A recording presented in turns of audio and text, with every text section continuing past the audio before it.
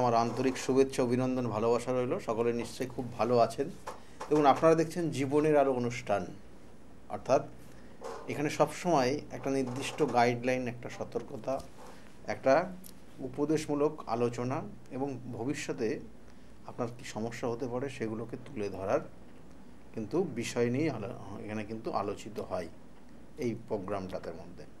সেরকমই অনেকে আমার লিখেছেন হোয়াটসঅ্যাপে।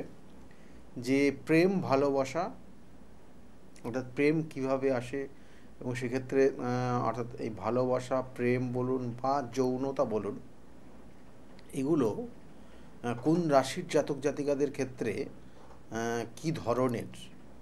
এবং পরবর্তীতে তাদের এই যে প্রেম বলুন, ভালোবাসা বলুন বা বিবাহ জীবন বলুন বা বিবাহিত জীবনে ভালোবাসা বলুন, এগুলো তাদের ক্ষেত্রে পর, পরবর্তীতে যে ভালোবাসাটা থাকবে কি না সেটা নিয়ে যদি একটু আলোচনা করেন, তাহলে খুব উপকৃত হবে বলে আপনারা আমাকে মেসেজ পাঠিয়েছেন এবং তার পরিপ্রেক্ষিতে আমি নামটা বলতে চাইলাম না এবং এরকম আমার কাছে অনেক কটা এসছে বলেই আজকে আমি আপনার এই বিষয় নিয়ে আলোচনা করছি এবং অবশ্যই বলব বারোটা রাশির যদি সময় থাকে এবং প্রত্যেকটা রাশি ধরে ধরে বলব এবং প্রত্যেকটা রাশির মধ্যে কি ধরনের এই প্রেম, ভালোবাসা বলুন বা যৌনতা বলুন, এগুলো কতটা ভালো আছে, খারাপ আছে, সেইগুলো কিন্তু অবশ্যই তুলে ধরবো।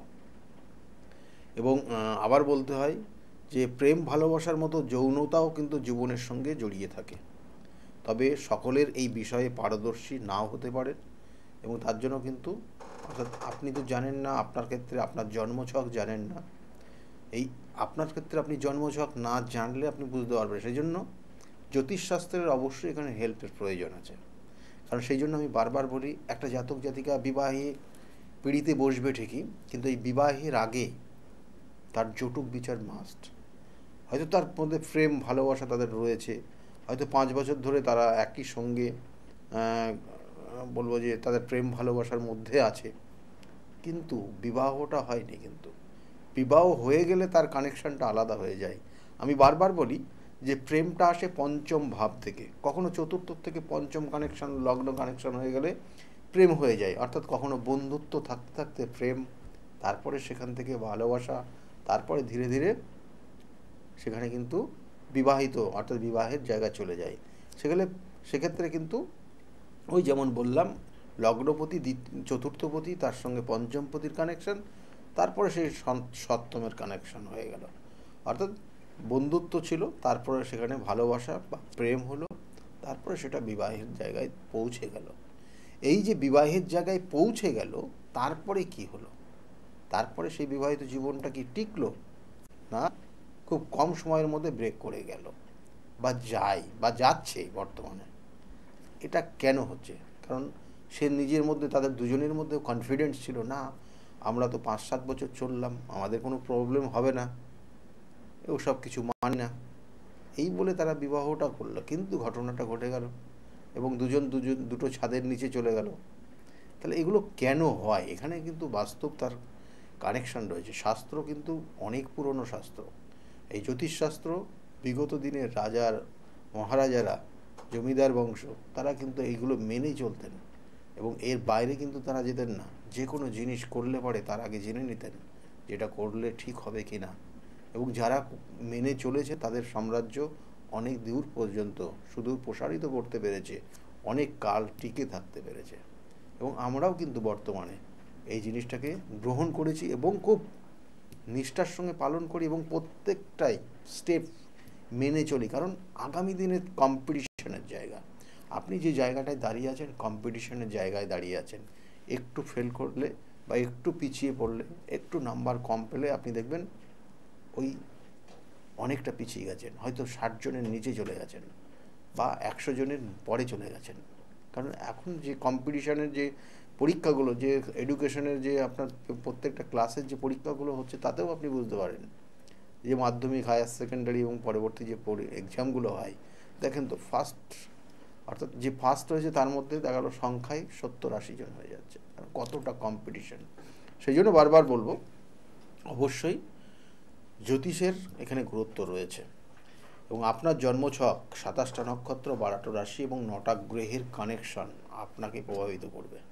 তার সঙ্গে দশা, অন্তর্দশা, প্রত্যন্তর্দশা সূক্ষ্ম দশা প্রভাবিত করবে।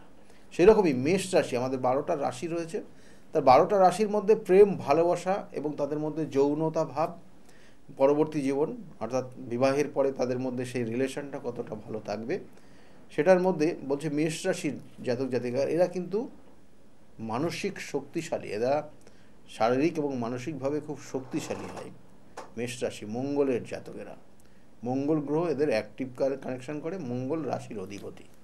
এবং এরা বলছে এই রাশি মূলত এদের স্বভাব বা চরিত্রিক দিক দিয়ে এরা কিন্তু যা বলে সামনে বলে, পিছনে কিছু বলে না। এবং ভালোবাসার ব্যাপারেও কিন্তু সামনাসামনি কিন্তু প্রপোজ করতে পছন্দ করে। এবং এরা খুব মানে চট জলদি রিয়াকশান নেয়, চট জলদি কথাবার্তা বলে এবং এরা সময় দেয় না। তাহলে এইগুলো কিন্তু মেষ রাশির মধ্যে রয়েছে। কেবল এরা প্রথম, অর্থাৎ একবার দেখলে পরে এদের দৃষ্টিশক্তি এতটা প্রখর এবং একবার দেখলে যেটা চোখে লেগে যায়, একবারেই দেখলেই সেটা তার পরবর্তী টাইমে তার প্রেমে পড়ে যেতে পারে, যদি তার চোখে ভালো লাগে। এবং সেই চোখের সঙ্গে তার মনের কানেকশান রয়েছে। সেই জন্য বলা হয়, অর্থাৎ এদের ক্ষেত্রে এই জায়গাগুলো রয়েছে। এবং এবং এরা কিন্তু চট জলদি, কোনো রকমের দুর্ব্যবহার পেলে চট জলদি এরা ভুলে যায়। এবং ভুলার ব্যাপারটাও কিন্তু এরা যেটা বললাম, যে কোনো ওদের ক্ষেত্রে অ্যাক্টিভিটিগুলো খুব শর্ট টাইমে নেবে এবং শর্ট টাইমে কিন্তু, আবার, অর্থাৎ শর্ট টাইমে দেখা হলো ভালোবাসা, অভিনয়, ভালোবাসার ব্যাপারটা আসলো, আবার শর্ট টাইমের মধ্যে সেটা চলেও যেতে পারে। এদের এই জায়গাগুলো রয়েছে, মেষ রাশির যারা জাতক জাতিকারা। এবং এখানে বলছে যে মেষ রাশির জাতক জাতিকাদের জীবনে যৌনতা ভীষণ প্রখর। এবং কারণ যেহেতু বললাম, মঙ্গলের জাতকেরা এবং দৈহিক প্রেমের ক্ষেত্রে এই রাশি যেমন শক্তি প্রয়োগ করতে পারে তেমনই। অর্থাৎ এদের ক্ষেত্রে এদের এদের শারীরিক যে পুষ্ট, সেই জায়গাটা কিন্তু ওদের ক্ষেত্রে নো ডাউট খুব ভালো। সেই জন্য দেখবেন যে, এই রাশির জাতক জাতিকারা ম্যাক্সিমাম এরা কিন্তু সৈনিক বিভাগে বিভাগে চাকরি করে থাকেন। কেমন? এরা বিশেষ করে বিভিন্ন সৈনিক ডিপার্টমেন্টে এরা কর্মরত হয়। সেই জন্য এগুলো বলা হচ্ছে। এবং এই রাশির জাতক জাতিকারা কিন্তু যে কোনো বিষয়ে, অর্থাৎ এরা সবসময় কম্পিটিশনটা পছন্দ করে ঠিকই। এবং প্রেমের ক্ষেত্রেও। প্রেম, ভালোবাসা এবং এই যে আজকের আলোচনা যৌনতা, এটাও কিন্তু এদের মধ্যে কম্পিটিশনের জায়গা থাকে। অর্থাৎ মানে সবসময় সে চায় আমি সর্বে সর্বা। এই জায়গাটা তাদের মধ্যে থাকে। এটা হচ্ছে মেষ রাশির জাতক জাতিকারা। এবং মেষ রাশির জাতক জাতিকাদের সঙ্গে এরা কোন ক্ষেত্রে পছন্দ? খুব তাড়াতাড়ি এরা কোন কালারটা পছন্দ করে এবং কোন ধরনের জাতক জাতিকাদের পছন্দ করে। মেষ রাশির জাতক জাতিকারা জেনে রাখুন পিঙ্ক কালারটা এদের খুব পছন্দ হয় পিঙ্ক এবং যাদের অ্যাক্টিভিটি একটু পজিটিভ অ্যাক্টিভিটি মানে খুব স্ট্যান্ডার্ড জিনিস মেনটেন করে, এরা কিন্তু তাদের প্রতি আকৃষ্ট হয়ে যায় মেষ রাশির জাতক জাতিকরা। এবং স্ট্যান্ডার্ড জিনিস পছন্দ করে, ভালো এবং তাদের মধ্যে একটা গম্ভীরতার জায়গা রয়েছে, এবং তাদের ক্ষেত্রে কিন্তু এরা খুব অ্যাট্রাকটিভ হয় মেষ রাশির জাতক জাতিকারা। এবং তার সঙ্গে সঙ্গে বলব রাশি অনুযায়ী সেই সকল জাতক জাতিকারা দেখতে হয় এবং সুখী থাকতে পারে এবং কোন রাশির সঙ্গে বিবাহ হতে পারে, সেক্ষেত্রে মেষ রাশির জাতক জাতিকাদের ক্ষেত্রে বিশেষ করে বলা হচ্ছে যে, সিংহ রাশির জাতক জাতিকাদের সঙ্গে যদি বিবাহ হয়, তাহলে তাদের প্রেমটা অনেক দিন টিকে থাকে। তাদের মধ্যে প্রেম, ভালোবাসা, কারণ বিবাহের পরেও কিন্তু প্রেম, ভালোবাসার অবশ্যই জায়গা রয়েছে।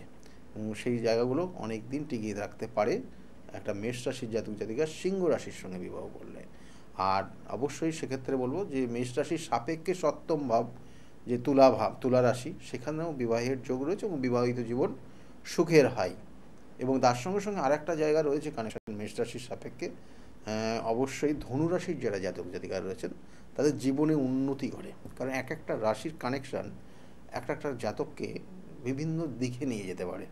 সেই জন্য প্রেম ভালোবাসা টিকিয়ে রাখতে হলে সেক্ষেত্রে সিংহ রাশির কানেকশান বেশি ভালো, মেষ রাশির জন্য। আর বিবাহিত জীবন সুখকর হতে হলে বা এখানে বলব যে যে এক একটা জাতক জাতিকার যে আশা, কল্পনা এবং সেটাকে বাস্তববাহিত করতে হলে এবং তার সঙ্গে সঙ্গে যে, তার নিজস্ব যে চাহিদাগুলো পরিপূরণ করতে হলে।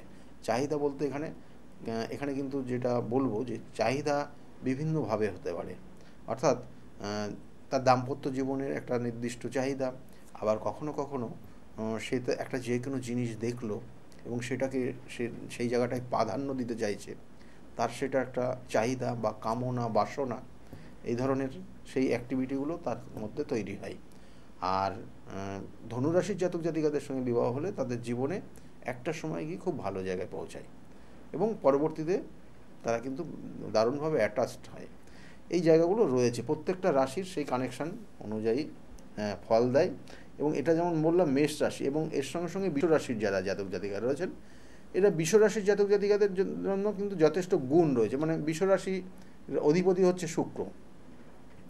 তাহলে এই শুক্র গ্রহ নো ডাউট একটা রোমান্টিক গ্রহ এবং আমাদের আজকের আলোচনার এই রোমান্টিক বিষয় নিয়েই অর্থাৎ প্রেম, ভালোবাসা এবং যৌনতা বা সেক্সুয়াল ম্যাটার তাহলে সেই যে কানেকশানটা রয়েছে, এখানে শুক্রই কিন্তু একদিক দিয়ে পজিটিভ জায়গা থাকতে হয়।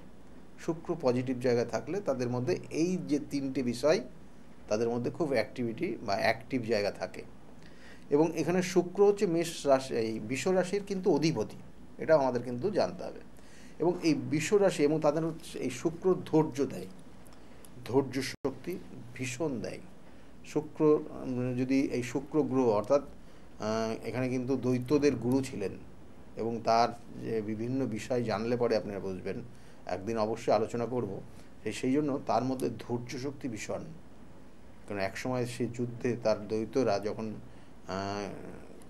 প্রাণ হারাচ্ছিল, তাদেরকে মৃত সঞ্জীবনী দিয়ে, মৃত সঞ্জীবনী দিয়ে তাদেরকে প্রাণ কিন্তু ফিরিয়ে দিচ্ছিলেন।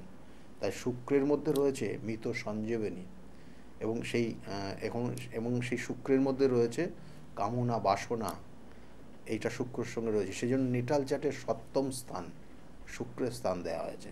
এবং দ্বিতীয় স্থান, অর্থ, চাহিদা, প্রলোভন, চোখের দৃষ্টি, দৃষ্টিশক্তি, এগুলো শুক্রের কানেকশান এবং এখানেও বলব যে বিশ্বরাশির যারা জাতক জাতিকা রয়েছে, এরা অবশ্যই ধৈর্যশীল হয় এবং এরা রোমান্টিক হয়। অর্থাৎ প্রেম, ভালোবাসা তাদের মধ্যে থাকে এবং এখানে এই, এবং বিশেষ করে বিশ্বরাশির জাতক জাতিকারা এরা কিন্তু একাধিকভাবে পরিবর্তন করে না। প্রেম, ভালোবাসা। এখন যে লাইফস্টাইলটা চলছে বা এখন যে জায়গাগুলো চলছে, এটা বলব যে ঘোর কলিযুগ। এবং এই ঘোর কলিযুগে বিভিন্ন রকমের পরিবর্তন। এবং আমরা দেখছি দিনের পর দিন পরিবর্তন। তাই বিশ্বরাশির জাতক জাতিকাদের এরা সবসময় ধৈর্য নিয়ে চলে।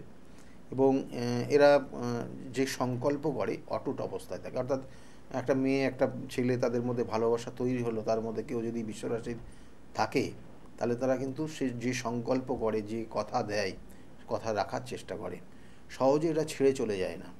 এবং এরা বিশেষ করে বলছে কোনো ব্যক্তির এই রাশি, এবং তার সঙ্গে সঙ্গে বলছে যে, এরা কিন্তু ভালোবাসার শীর্ষ পর্যন্ত পৌঁছাতে পারে। এবং সেই জিনিসটাও তাদের মধ্যে ভালোবাসার বিষয়টা উপভোগ করতে পছন্দ করে এরা। এবং এরা কিন্তু যথেষ্ট রোমান্টিক হয়। এবং এরা সবসময় অর্থাৎ যে নিজের যে প্রেমিক বা প্রেমিকা, তারা যদি কোনো কারণে মানসিকভাবে আঘাত পায়, তাহলে তারাও কিন্তু খুব কষ্ট পায়। এগুলো কিন্তু বলা হচ্ছে। এবং এরা কিন্তু সবসময় তাদের যৌবন শক্তিটাকে ধরে রাখতে চায়। এটা বিশেষ করে বিশ্বরাশির জাতক জাতিকাদের রয়েছে। এবং এরা কিন্তু অক্লান্ত পরিশ্রম করে এবং তার সঙ্গে সঙ্গে এরা কিন্তু সব সময় বিবাহের পরেও পরবর্তীতে তারা কিন্তু তার যে লাইফ পার্টনার তার সঙ্গে কিন্তু সুসম্পর্ক বজায় রাখে এবং এদের ক্ষেত্রে তাদের সেই যৌনতা বা বিশেষ করে আমাদের যে আজকের বিষয় যে সেক্সুয়াল ম্যাটারটাও তাদের মধ্যে যথেষ্ট গুণাগুণ থাকে। এটাই বলা হচ্ছে বিশ্বরাশির জাতক জাতিকাদের ক্ষেত্রে। এবং বিশ্বরাশির জাতক জাতিকাদের ক্ষেত্রে বলব যে বিশেষ করে পেস্তা কালারটা। পেস্তা কালারের কোনো পোশাক পরে আছে মানে তাদের প্রতি বেশি অ্যাট্রাকটিভ হয় মানে বিশেষ করে বিশ্বরাশির জাতক জাতিকা। পেস্তা কালার বা স্কাই ব্লু কালার, এইগুলোর প্রতি, এই কালারগুলোর প্রতি বেশি আসক্ত হয়ে যায়। দেখবেন যে প্রেমিক সে কোনো প্রেমিকার সঙ্গে তার দেখা করতে যাচ্ছে সেই প্রেমিকা যদি এই ধরনের কালার ইউজ করে। এখন অবশ্যই বয়ফ্রেন্ড গার্লফ্রেন্ডের বিষয় রয়েছে। এবং সেক্ষেত্রে যদি সে এই ধরনের পোশাকগুলো তারা ইউজ করে তারা সেক্ষেত্রে কিন্তু খুব অ্যাক্টিভ জায়গা থাকে। এদের প্রেম ভালোবাসার জায়গা। এবং এদের বিবাহ সাধারণত বিবাহ হয় বা প্রেম ভালোবাসাটা তৈরিও হয়। দেখবেন যে কন্যা রাশির যারা জাতক জাতিকা রয়েছেন, তাদের সঙ্গে। কারণ কন্যা রাশির কানেকশন এরা খুব ভালো অ্যাক্টিভ হয়।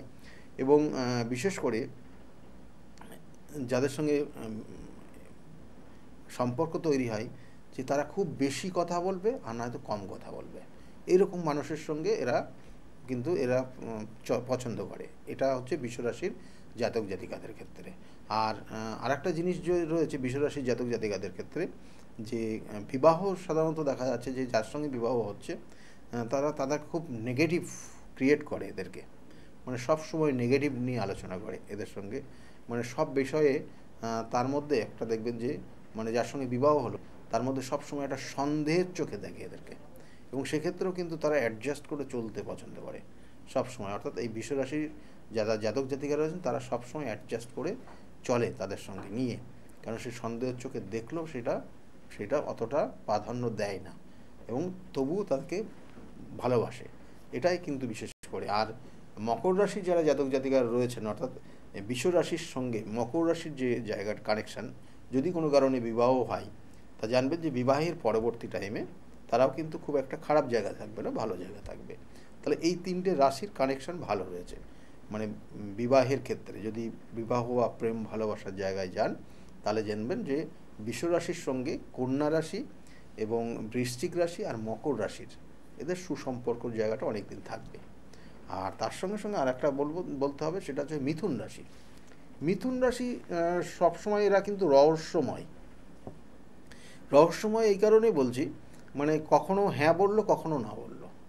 মানে এদের সব বিষয় না ফ্লাকচুয়েট করে। মানে কখনো হ্যাঁ কখনো এই মাত্র বলল যে আমি এখানে হ্যাঁ উপস্থিত আমার নেই। মানে এরকম ব্যাপারটা মানে এদের মধ্যে সেই জায়গাটা গুরুত্ব কম। মানে সবসময় দ্বিমুখী চিন্তাভাবনা।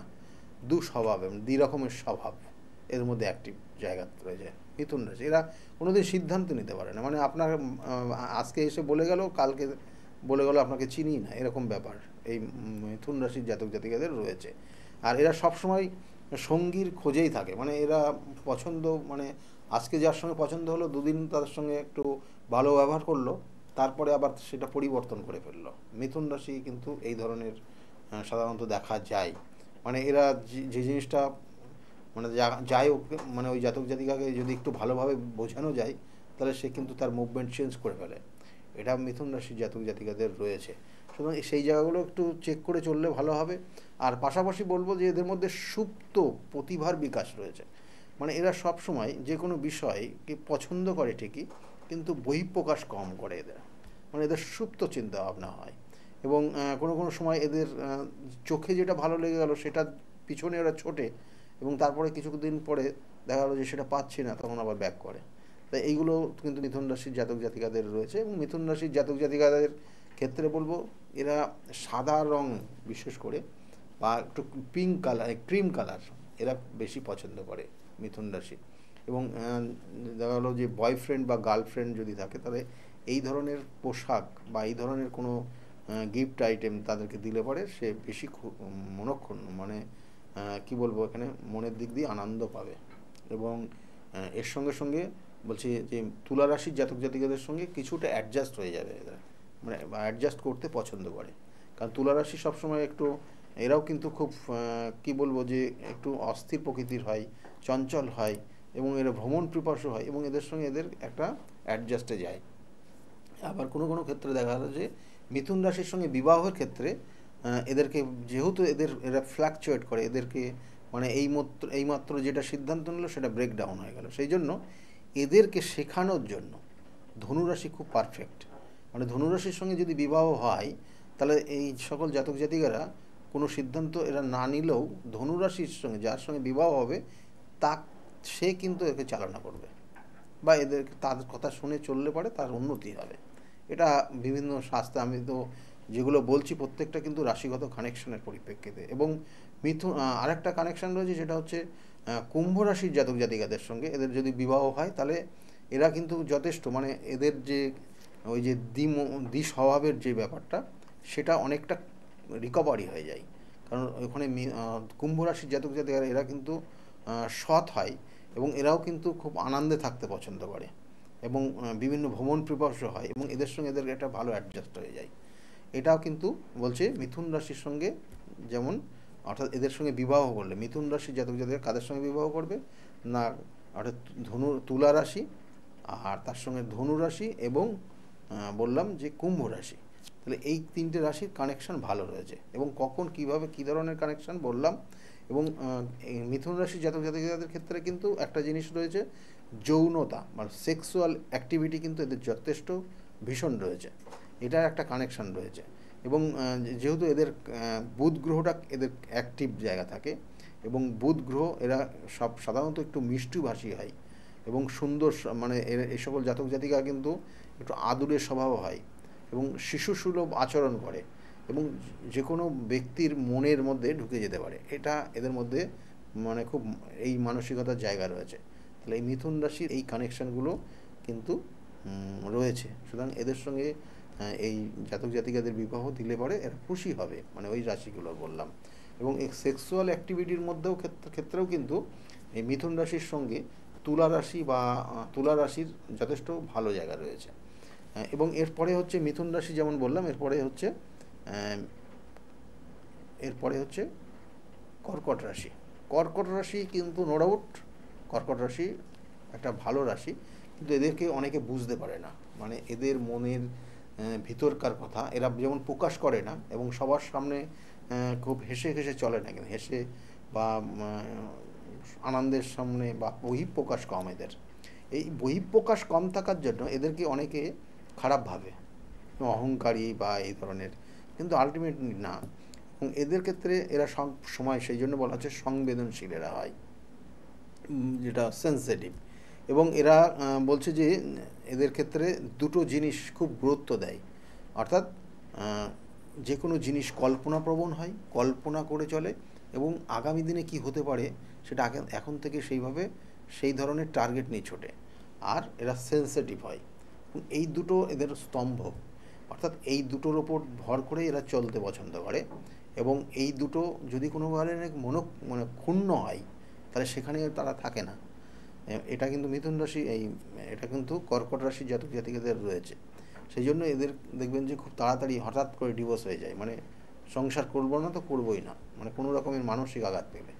এরা কিন্তু চটজলদি সিদ্ধান্ত নিয়ে নেয়। কারণ এখানে এবং তার সঙ্গে সঙ্গে এই সকল জাতক জাতিকাদের ক্ষেত্রে কিন্তু সেক্সুয়াল অ্যাক্টিভিটি ভীষণ রয়েছে, ভীষণ ভীষণ। অন্যান্য রাশির তুলনায়। এবং এরা কোনো কারণে দেখা গেলো সেই জন্য কোনো তৃতীয় ব্যক্তির সঙ্গে অ্যাটাচড হয়ে যেতে পারে। সেখানে অর্থাৎ এই যে কানেকশান মনের কানেকশান এবং এরা সাধারণত কোনো কারণে কেউ যদি দেখা যাচ্ছে বিশ্বাসঘাতকতা করল মানে বিশ্বাস করলে পরে মানে যাবতীয় সমস্ত কিছু তাকে দিয়ে দেবে। কিন্তু যদি কোনো কারণে যে বিশ্বাস ভঙ্গ হচ্ছে, তাহলে সেখান থেকেও চলে আসবে। তাহলে এই অ্যাক্টিভিটিগুলো কিন্তু এই রাশির জাতক জাতিকাদের রয়েছে। তা সুতরাং এই রাশির জাতক জাতিকাদের ক্ষেত্রে এদের বিশেষ করে পছন্দের জায়গা বেশি অ্যাক্টিভ অর্থাৎ যেগুলো জলরাশি রয়েছে, তার সঙ্গে বেশি কানেকশন ভালো রয়েছে। আর একটা রয়েছে যেটা মকর রাশির সঙ্গে বিবাহের যোগ রয়েছে।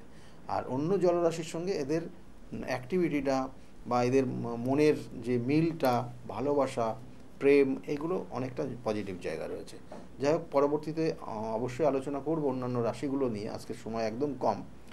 তবু বলব যে একটা জিনিস মাথায় রাখুন যে, জীবনে চলার পথে বাধা বিপত্তি আসবেই এবং সেগুলো আপনার জন্মছকের কানেকশানের পরিপ্রেক্ষিতে হয়। সেগুলোকে অবশ্যই সঠিকভাবে প্রতিকার প্রতিবিধান এবং সঠিক গাইডলাইন নেবেন যে, আপনারা হয়তো প্রেম, ভালোবাসার মধ্যে যুক্ত আছেন, বিবাহ, ভবিষ্যতে ভাববেন যে ভাবছেন হয়তো বিবাহ করব। কিন্তু যে জাতক বা যে জাতিকার সঙ্গে আপনার প্রেম, ভালোবাসা রয়েছে, তার সঙ্গে আদেও কি বিবাহ হবে? না, বিবাহিত জীবন কতটা সুখের হবে? এটা কিন্তু আপনাদেরকে অবশ্যই সিদ্ধান্ত নিতে হবে আগের থেকে। কারণ পরবর্তীতে বিবাহের পর গিয়ে সিদ্ধান্ত নেওয়া মানে কষ্টদায়ক এবং আপনার সেক্ষেত্রে অনেক ধরনের সমস্যা নেবে আসতে পারে।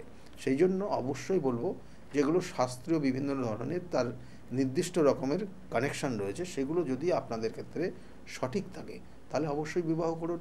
যদি সঠিক না হয়, কতটা সমস্যা আছে সেগুলোর অবশ্যই রেকটিফাইয়ের জায়গা রয়েছে, সেগুলো ঠিক করে রেকটিফাই করুন।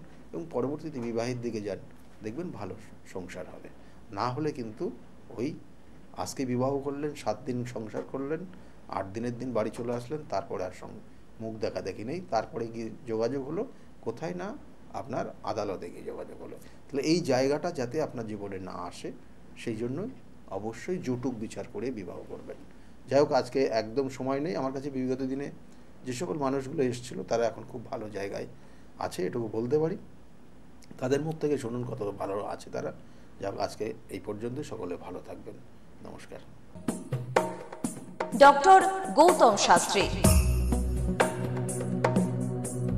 আর পাঁচজন অ্যাস্ট্রোলজারের থেকে কেন তিনি আলাদা? স্বাভাবিকভাবে আপনাদের মনে এই প্রশ্ন আসতেই পারে। দূর দূরান্ত থেকে নানান সমস্যায় জর্জরিত মানুষ ছুটে আসে তার কাছে। গ্রহদোষ হোক কিংবা কাল সর্বদোষ অথবা ধরুন মাঙ্গলিক দোষ কিংবা অন্য যে কোনো সমস্যা। তারা জানেন সব সমস্যা স্থায়ী সমাধানে এক এবং অদ্বিতীয় ডক্টর গৌতম শাস্ত্রী।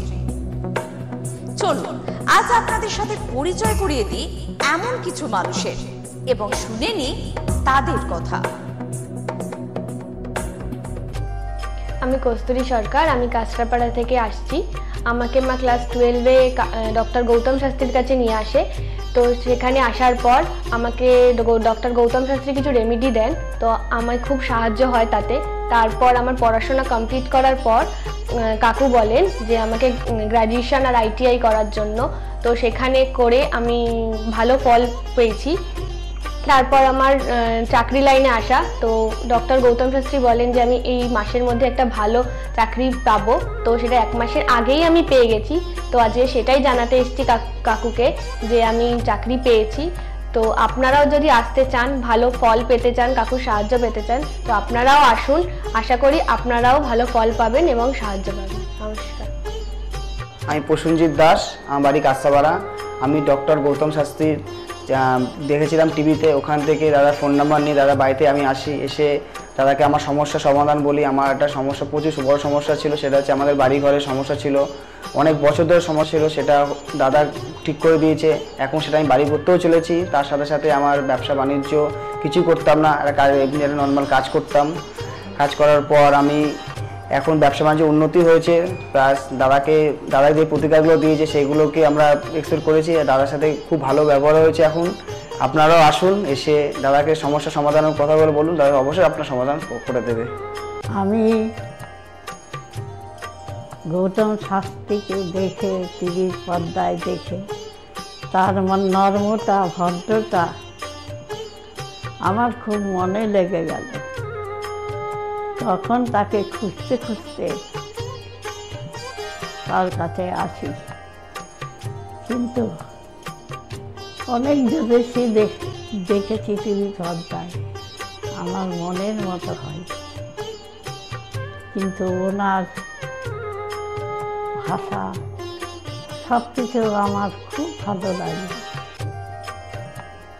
ওই জন্য ওনার কাছে এসে আমি অনেক উপকৃত আমার দেহের এবং মনের শান্তি, অনেক কিছু আমার নিজের জনদের ছেলে মেয়ের নাতি, নাতনিদের জন্যে অনেক সমস্যা উনি সমাধান করে দিয়েছে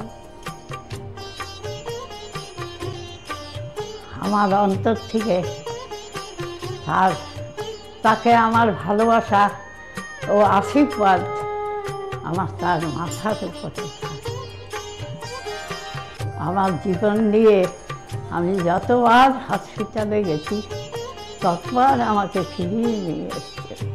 যখনই জানাতাম, উনি ফোন ধরতে সেই সমাধান আমাকে করে দিয়েছে। আমার গুরু স্বয়ং সে পাঠিয়েছে এখানে। তাছাড়া আমি তাকে চিনতামও না, জানতামও না। গৌতম শাস্ত্রীকে আমার প্রাণ ভরা আশীর্বাদ এবং ভালোবাসা, তার যেন সারা ভারতবর্ষ ভারতবর্ষময় তার সুনাম ছড়িয়ে পড়ে চারিদিকে। আমার গৌতম শাস্ত্রী, তার গুরু হচ্ছেন লোকনাথ বাবা। সে স্বয়ং তার মাথায় হাত বুলিয়ে দিয়েছেন। এই জন্য সবাই তাকে চিনছে, জানছে।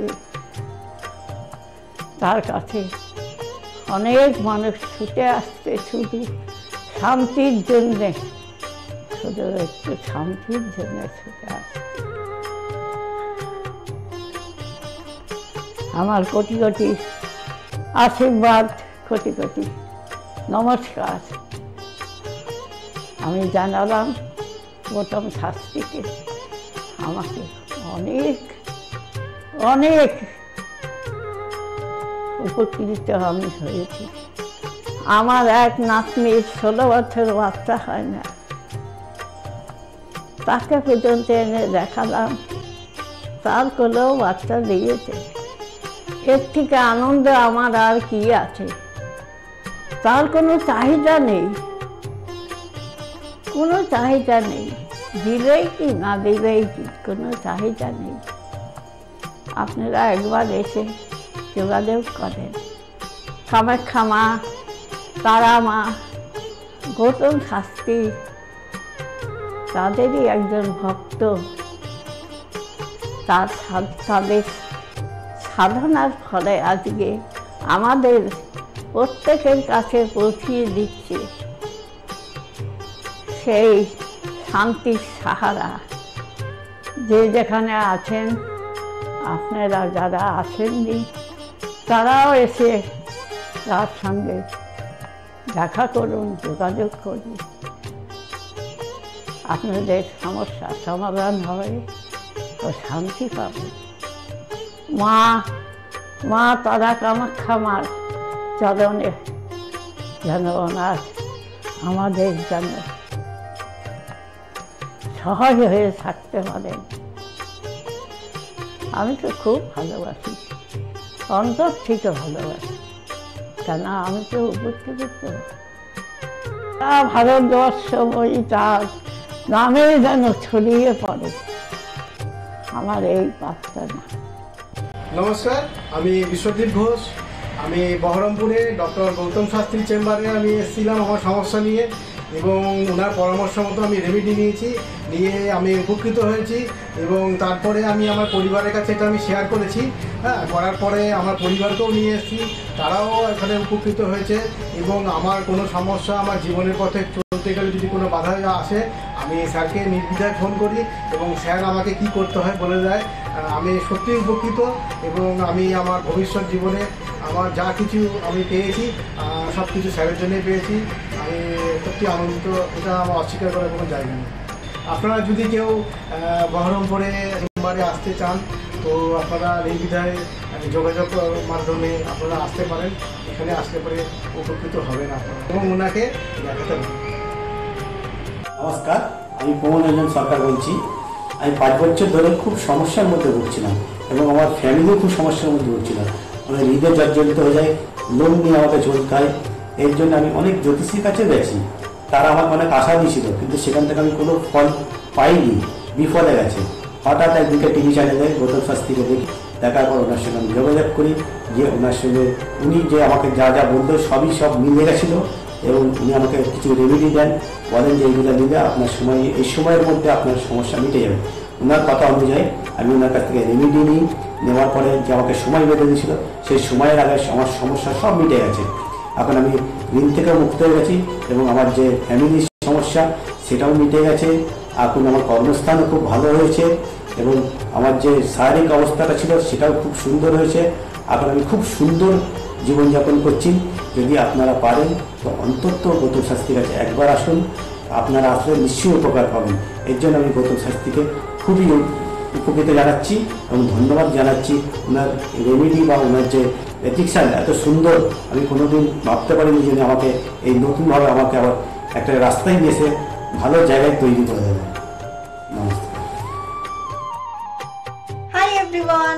I'm Simranpreet Kaur. I'm an actress. 2018 এ আমার তার আগে আমার খুব খারাপ সময় যাচ্ছিল আমার স্টাডি লাইফ আমার career life really it's very bad in that situation that time but যখন আমি টু থাউজেন্ড টোয়েন্টি এইটের মাঝামাঝিতে আমার মম আমাকে ডক্টর গৌতম শাস্ত্রীর কাছে নিয়ে আসে। আঙ্কেলের সাথে যখন আমি কথা বলি আঙ্কেল যখন আমার প্রবলেমগুলো শোনে, যেরকম করে গাইড করে, তেমনি আমি চলি। আর এরকম রেজাল্ট হবে আমি জানতাম না। এখন আমি একটা ভালো আমার ক্যারিয়ার চলছে। আমার স্টাডি লাইফের মধ্যে অনেক প্রবলেম ছিল অনেক প্রবলেমস আমার ফ্যামিলি লাইফেও খুব প্রবলেম ছিল। সব প্রবলেম মানে মানে গায়েব হয়ে গেছে। তারপরে আমি তো প্রথম প্রথম যখন আসি তখন আমি একদম বিলিভ করি না যে এগুলো কি হয় বা কিছু। আমি মাকে বলি "হ্যাঁ, দেখাবো না এই ওই। অনেক কিছু বলি। কিন্তু যখন দেখানোর পর যখন আমি এক দু মাসের মধ্যে যখন ধীরে ধীরে একটুখানি ভালো হতে পারি। আমার লাইফে যখন একটু একটু করে ভালো হচ্ছিল, তখন আমি ফিল করলাম যে, না, সত্যি ভালো হচ্ছে। ওনার গাইডে আর তার তিন, চার মাসের পরে একদম আমি রেজাল্টটা দেখতে পারছিলাম ফিল করতে পারছিলাম। আর আপনারা যদি চান যে আপনাদের লাইফের প্রবলেমগুলো সলভ হোক হান্ড্রেড পার্সেন্ট সলভ হবে। গ্যারেন্টি আপনারা আসুন আঙ্কেলকে দেখান আপনাদের আর আঙ্কেল যেরকম গাইড দেবে, তেমনি যদি আপনি চলবেন, তাহলে একদম সঠিক হয়ে যাবে, একদম সাকসেস পাবেন আপনি। আমি হালিশহর থেকে এসেছি। ধরো আমার নাম তো মলিনা ঘোষ, কিন্তু তোমার কি হয়েছে বলো তো? আমি দাদার কাছে অনেক বছর ধরে মানে কয়েক বছর ধরে ভালোই এসেছি। আমি অনেক বিপদে পড়েছিলাম তো।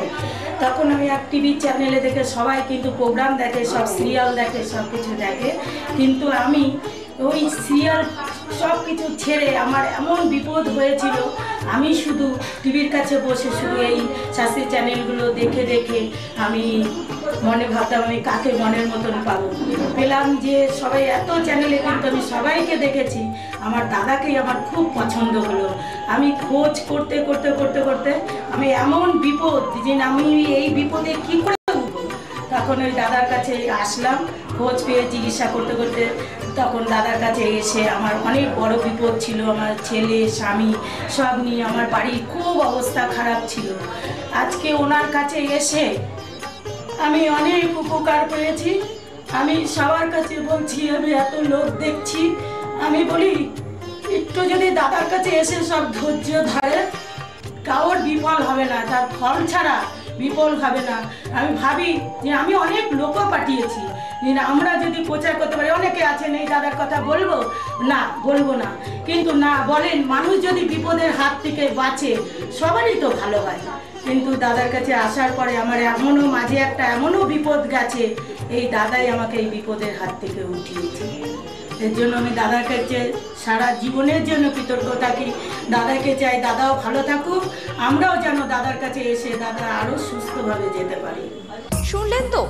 এনাদের প্রত্যেকের আশা, ভরসা এবং বিশ্বাসের একটাই নাম, ডক্টর গৌতম শাস্ত্রী। যার সম্পর্কে আমরা এত কিছু শুনলাম, চলুন এবার দেখে নিই তিনি কি বলছেন। আজকের যে ফিডব্যাক আপনারা পাচ্ছেন, এগুলো কিন্তু আমার সবটাই আমার গুরুদেবের আশীর্বাদ। কারণ গুরুদেব আমাদেরকে একটা জিনিসই বলেছিলেন যে যেভাবেই হোক মানুষকে উপকার করলে তোমার কিন্তু আগামী দিনে দেখবে তোমার মানুষ কিন্তু তোমার পাশে এসে দাঁড়াবে। এবং সেইভাবেই আমি কিন্তু যেভাবে সকলের উপকার বা আমি যতটা কাজ করছি সকলে উপকৃত হচ্ছে এবং এর জন্য আমিও কিন্তু খুব আনন্দ পাই যখন তারা বলে যে, না দাদা, আমি আপনার এই কারণে, এই জন্য এসেছিলাম, এই কাজটা আমি পেয়ে গেছি। সুতরাং আমিও চাই যে, এইভাবে মানুষের পাশে থেকে মানুষকে সহযোগিতা করে, মানুষকে আরও ভালো জায়গায় পৌঁছে দেওয়া। যাদের খুব দুঃখের মধ্যে, কষ্টের মধ্যে আছে, তাদেরকে কিছুটা গাইড করে তারা যদি আরও ভালো জায়গায় যেতে পারি এবং ভালো জায়গায় তাদেরকে যদি নিয়ে যেতে পারি, এটাই হচ্ছে আমার মেন উদ্দেশ্য। অর্থাৎ তারা যদি আরও ভালো জায়গায় যেতে পারে, সেখান থেকে যে আনন্দ উপভোগ করতে পারব আমি, সেটা কিন্তু চিরস্থায়ী থেকে যাবে। তাহলে আর দেরি কেন? চটপট ফোন করুন nine eight three six four one zero nine six nine অথবা eight double three five eight zero five two four one এই নাম্বারে। শুধুমাত্র একটি ফোন যা পাল্টে দিতে পারে আপনার গোটা জীবন। জ্যোতিষবিদ, বাস্তুবিদ, হস্তরেখা বিশারদ ও gold medalist doctor Gautam Shastri. এক এবং অদ্বিতীয়।